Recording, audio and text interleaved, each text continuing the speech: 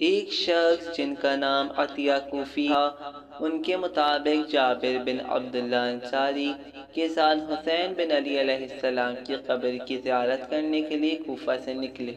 जब हम करबला पहुँचे तो जाबिर फुरात के साहिल के करीब गए और गसल अंजाम दिया और महरम अफराद की तरह एक चादर पहनी, फिर एक थैली से खुशबू निकाली और अपने आप को इस खुशबू से मअतर किया और ज़िक्र इलाही के साथ कदम उठाना शुरू किया। यहाँ तक कि वह हुसैन इबन अली के मरकज के करीब पहुँचे। जब हम नज़दीक पहुँचे तो जाबिर ने कहा कि मेरा हाथ कब्र हुसैन पर रखो। मैंने जाबिर के हाथों को कब्र हुसैन पर रखा। इन्होंने कब्र हुसैन इब्ने अली को सीने से लगा लिया और बेहोश हो गए। जब मैंने इनके ऊपर पानी डाला तो वो होश में आए। तो इन्होंने तीन मरतबा बआवाज बुलंद कहा, या हुसैन या हुसैन या हुसैन।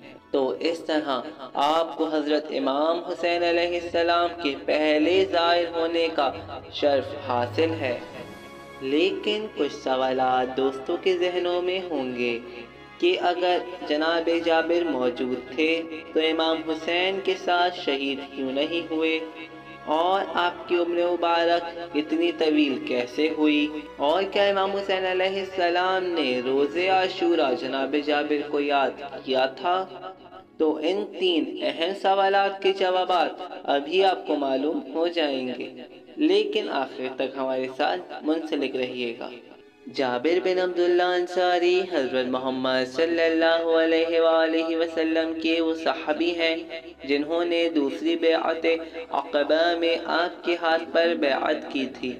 वो कसीर हदीस साहबी और हदीस लह के रावी हैं। हदीस में हजूर सल्लल्लाहु अलैहि वसल्लम ने शिया मासूमीन अलैहिस्सलाम के असम मुबारक को ज़िक्र फरमाया। जाबिर के वालिद रसूल खुदा सल्लल्लाहु अलैहि वसल्लम पर हिजरत से पहले ईमान लाए और दूसरी बेअत अकबा में रसूल खुदा सल्लल्लाहु अलैहि वसल्लम के साथ अहद किया। और इन बारह नकीबों में से एक थे। जिन्हें रसूल खुदा सल्लल्लाहु अलैहि वसल्लम ने इनके कबीलों के नुमाइंदों के तौर पर मुकर किया था। रसूल खुदा सल्लल्लाहु अलैहि वसल्लम की हिजरत के बाद अब्दुल्ला ने मदीना मुनव्वरा में दीन इस्लाम की तबलीग के लिए कोशिश की। जाबिर रसूल सल्लल्लाहु अलैहि वसल्लम के ज़माने की जंगों और अहम वाक़ात में मौजूद थे जैसे गजवा बनी मुतलक गजवा अहजाब गजवा बनी करीज़ा सलाह हुदैबिया गजवा खैबर, सरिया खब्त, फतह मक्का महासरा ताइफ और गजवा तबू मौरखीन और मुहदसिन ने जाबिर बिन अब्दुल्ला अंसारी का नाम इन लोगों की फहरिस्त में ज़िक्र किया है, जो हज़रत अली अलैहिस्सलाम को रसूल खुदा सल्लल्लाहु अलैहि वसल्लम के हाथों ईमान लाने वालों में से सबसे पहले करार देते हैं। शेख मुफीद ने जाबिर को इन असहाब की फहरिस्त में शामिल किया, जो हज़रत अली अलैहिस्सलाम को रसूल खुदा सल्लल्लाहु का जानशीन बिला फस्त समझते हैं। शेख सदूक अबू ज़ुबैर मक्की, जो जाबिर के शागिर्दों में से थे, नकल करते हैं कि मैंने जाबिर को मदीना में अंसार के महलों में, उनके महफिल में असा हाथों में दिए, घूमते हुए देखा जब कि वो ये कह रहे थे कि ए गिरो अंसार, अपने फर्जंदों की तरबियत अली सलाम के साथ किया करो।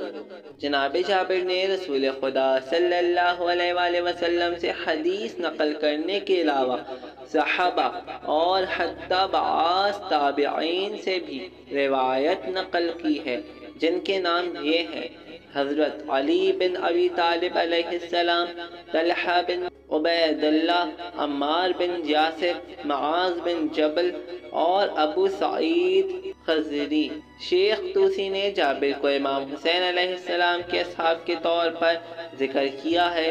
वाक़ करबला और शहादत इमाम हुसैन अलैहिस्सलाम के वक्त जाबिर बिन अब्दुल्ला मदीने के मम्मर बुज़ुर्गों में शुमार होते थे। और रसूल खुदा सल्लल्लाहु अलैहि वसल्लम की ज़रूरत के लिए फ़िक्रमंद थे।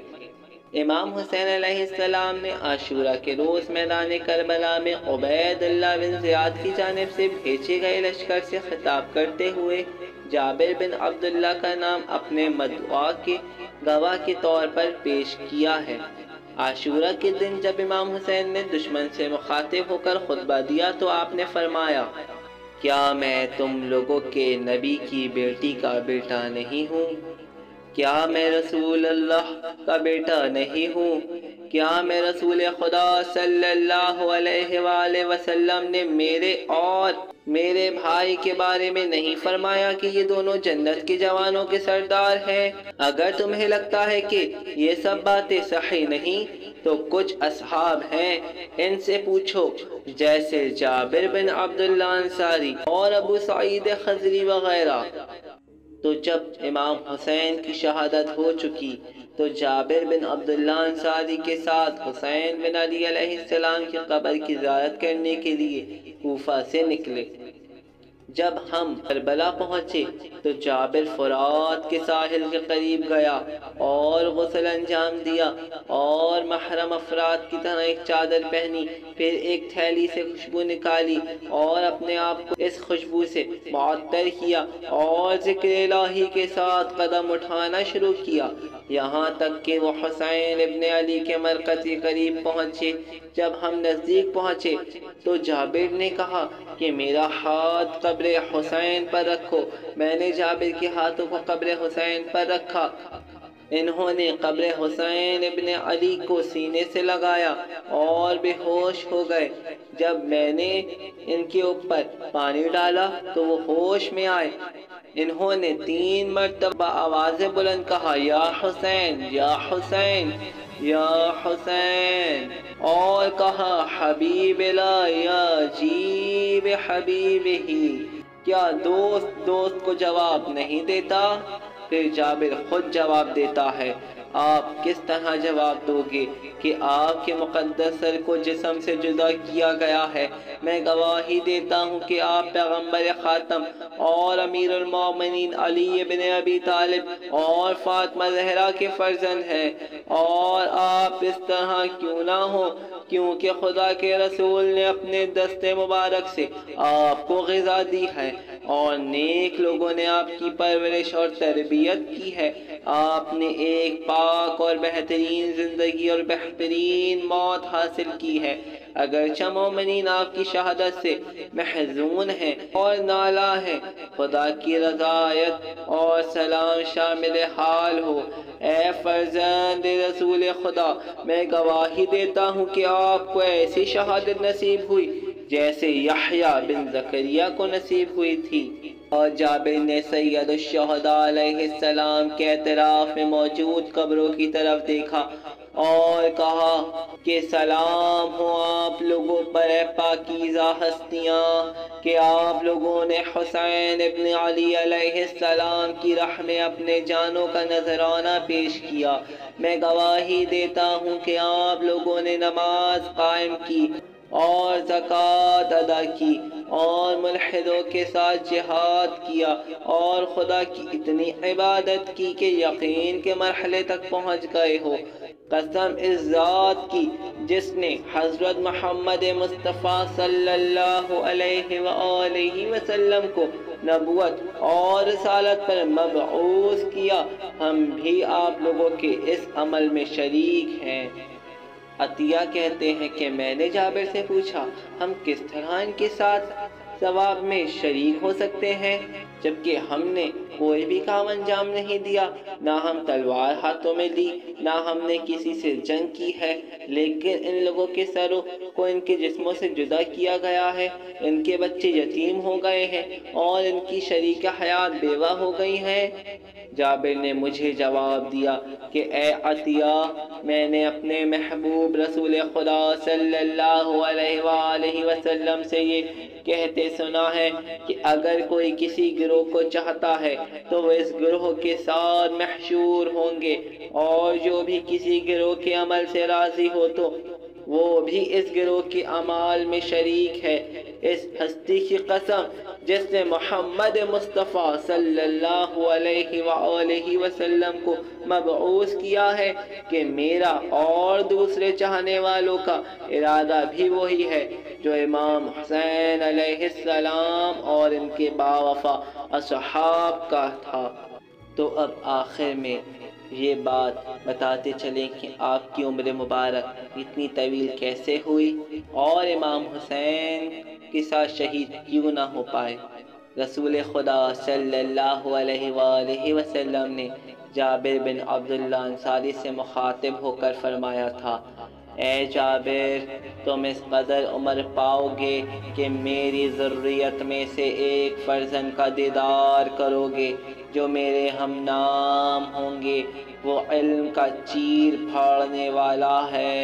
यानी इल्म की तशरी करता है, ऐसे जैसे तशरी व तजिया करने का हक है। बस मेरा सलाम उन्हें पहुँचा दो।